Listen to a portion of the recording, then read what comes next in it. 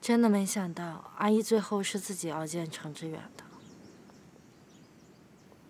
他全部都想起来了，包括这一年，陈志远是怎么照顾他的，他也都想起来了。他就是迈不过心中那道坎儿。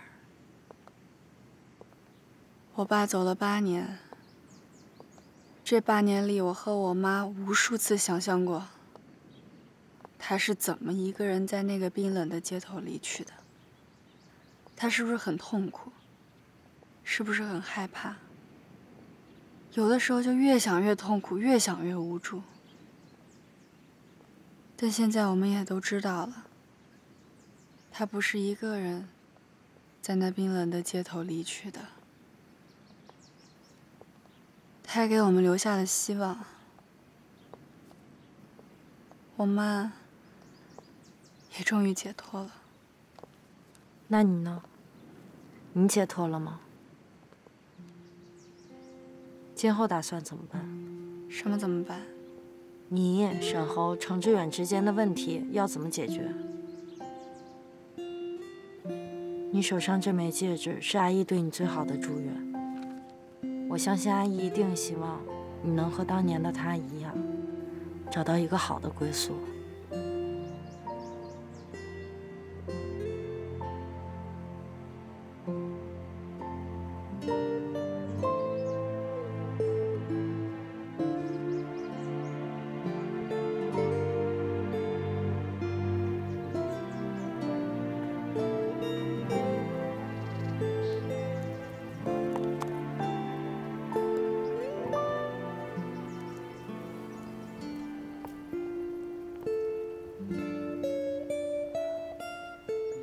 严先生，严太太，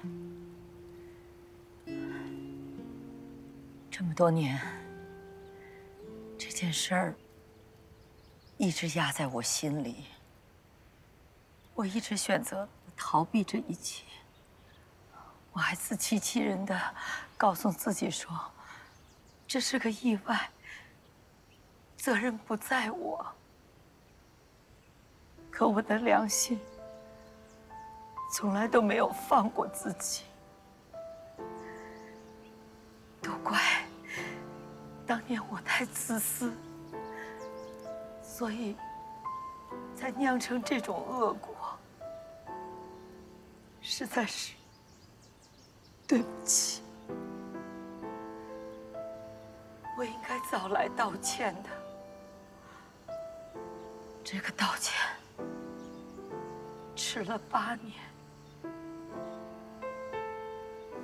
对不起。如果你们在天之灵能够看到的话，请你们原谅我，尤其要原谅我这些年对两个孩子的伤害。要罚。就罚我吧。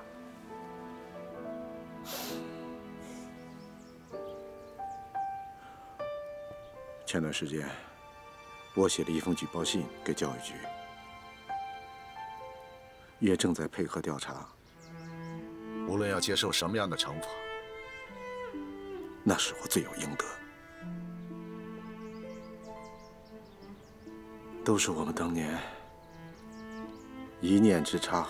毁了你们家，希望这迟来的忏悔能让你们心里好受一些。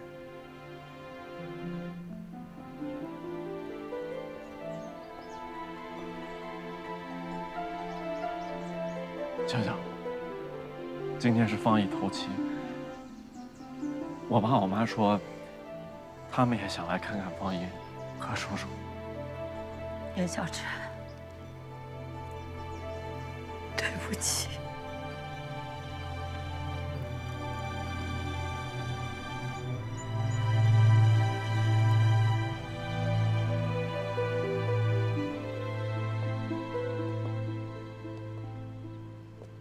今后什么打算？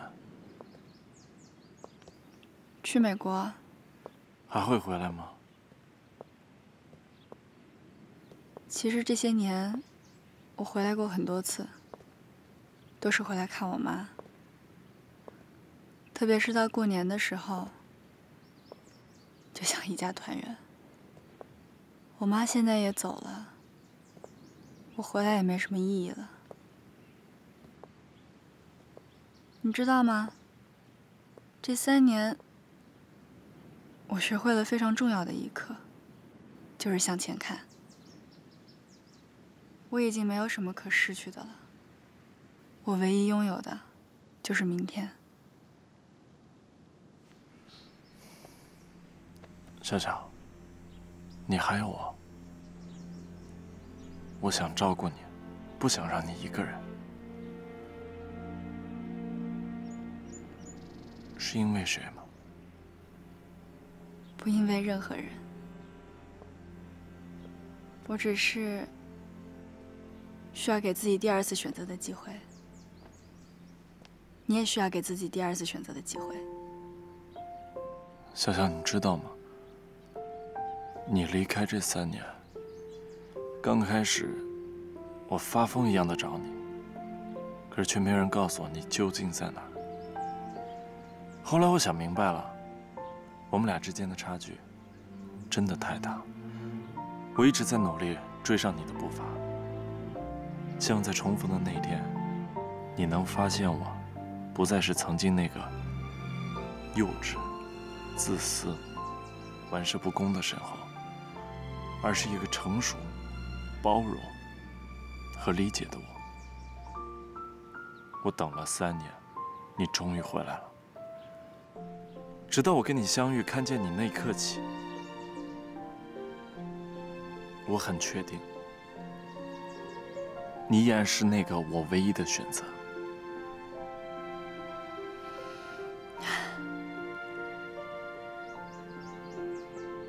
爱情应该是美好的，不应该是沉重的，对吧？可是我们给彼此带来的沉重，远比美好要多得多。我们也见证了彼此最曲折的一段人生，也曾经在暴风雨中紧紧相拥过。